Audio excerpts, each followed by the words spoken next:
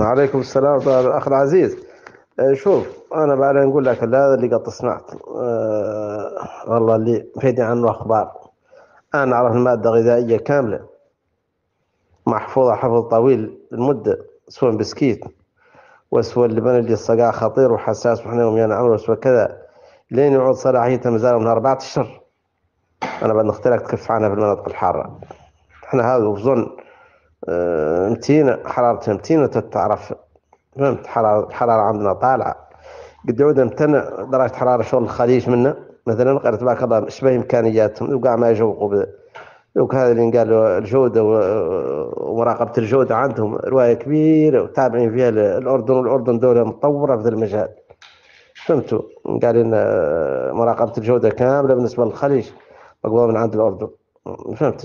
الأردنيين ستريكت في الرواية ما جوقوا فيها الخليج بعد الشيء فيه مازال أربعة أشهر ينعدم قلت لكم هون قصة من النوع غريبة في سعودي هذا ردوا لي راجل ثقة. احسبه كذلك. شيخ متعدل طيب.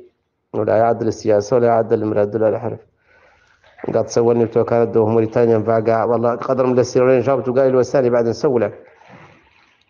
بي اللي قال لي عندي أصحاب قال لي سعودية. سعوديين قد قال لي واحد منهم هي موريتان. يعاملوا فيها المواد المنتهية صلاحية قال لي قلت له ما نعرف قال له أنا أخوي هاي المادة قد رديت عليكم هون رجعني بالمنتدى.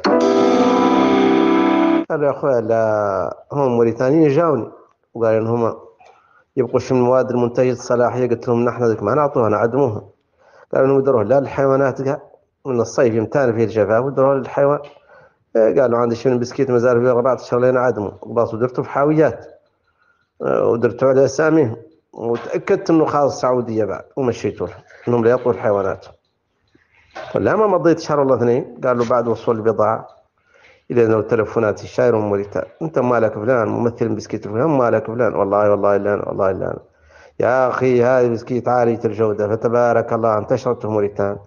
ولا أنا بقوك تعال خلينا نشتروها من عندك وأنا جاهزين ونخلصوك قال قلت لهم يا إخوان أنا ما قد طبعت الموريتان ولا أنبع ولا هي سوقي قال لا لا لا منتشرة فهمت؟ قالوا الحاويات اللي أعطيتها أنهم يعطوا للحيوان أه وقسموا على رواقي.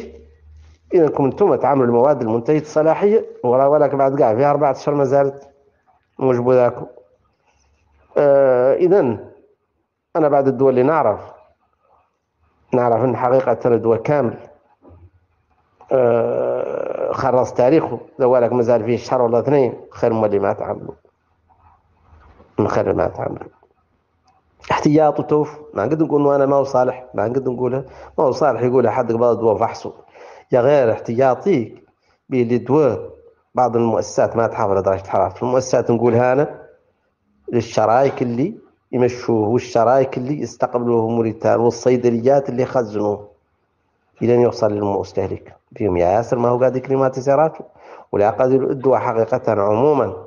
يبغي 25 درجة اللي هي درجة حرارة الغرفة إلى 37 درجة. وهذا نادر موريتان محافظ عليه. هذا هو اللي يبغي. خارقة أدوية.